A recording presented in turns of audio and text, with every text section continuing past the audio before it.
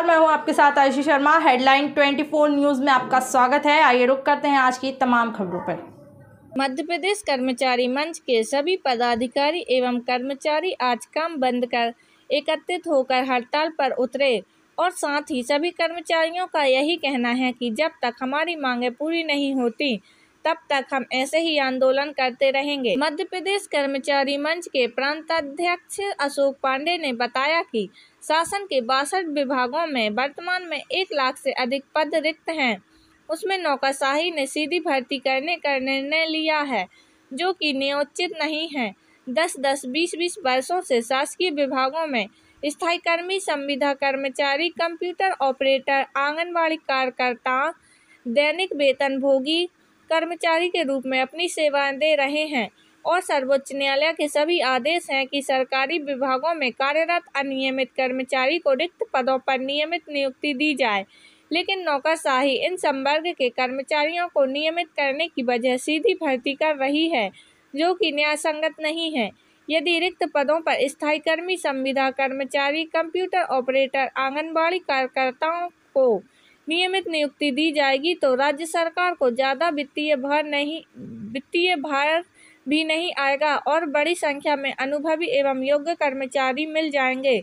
मध्य प्रदेश कर्मचारी मंच आपसे निवेदन करता है कि सरकारी बासठ विभागों में रिक्त एक लाख से अधिक पदों पर पहले अड़तालीस हज़ार स्थायी कर्मियों, संविदा कर्मचारी, दैनिक वेतन भोगी कर्मचारियों, कंप्यूटर ऑपरेटरों आंगनबाड़ी कार्यकर्ताओं को नियमित नियुक्ति दी जाए, उसके बाद सीधी भर्ती की जाए।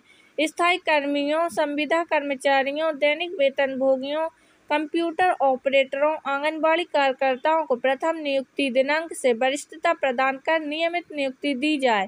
ताकि उक्त संवर्ग के कर्मचारियों को पुरानी पेंशन योजना का लाभ प्राप्त हो सके। पांडे जी ये मध्य प्रदेश कर्मचारी मंच जो आज यहाँ पे आप कार्यक्रम कर रहे हैं किस मुद्दों को लेकर चल रही है चर्चा?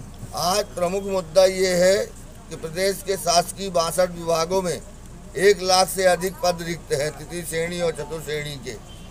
उन पदों पर नौकरशाही और सरकार मिलकर सीधी भर्ती करना चाह रही है जबकि दस दस बीस बीस साल से हमारे स्थायी कर्मी, दैनिक वेतन भोगी, कंप्यूटर ऑपरेटर अपनी सेवाएँ विभागों में दे रहे हैं और सुप्रीम कोर्ट का भी आदेश है कि अनियमित कर्मचारी को सबसे पहले रिक्त पदों पर नियमित किया जाए। एक लाख से अधिक पद हैं, उन पदों पर सबसे पहले स्थायी कर्मियों को नियमित किया जाए, कंप्यूटर ऑपरेटरों को नियमित किया जाए। यदि पद बचते हैं तो आप सीधी भर्ती करिए। लेकिन सबसे पहले हमारे अड़तालीस हज़ार स्थायी कर्मियों को, कंप्यूटर ऑपरेटरों को और संविदा कर्मचारियों को प्राथमिकता के आधार पर और योग्यता के आधार पर नियमित करिए। पुरानी पेंशन योजना का लाभ दीजिए। पुरानी प्रथम नियुक्ति दिनांक से वरिष्ठता दीजिए। ये आठ सूत्री ज्ञापन हम लोग यहाँ आज तैयार किए हैं। और इस ज्ञापन को मुख्यमंत्री और हर जिला कलेक्टर के माध्यम से मुख्यमंत्री के नाम पहुँचाया जाएगा। और आंदोलन का आज प्रथम चरण है, दूसरा चरण है, क्योंकि पहले चरण में हमने पचास हज़ार पोस्ट कार्ड मुख्यमंत्री को भेजे हैं।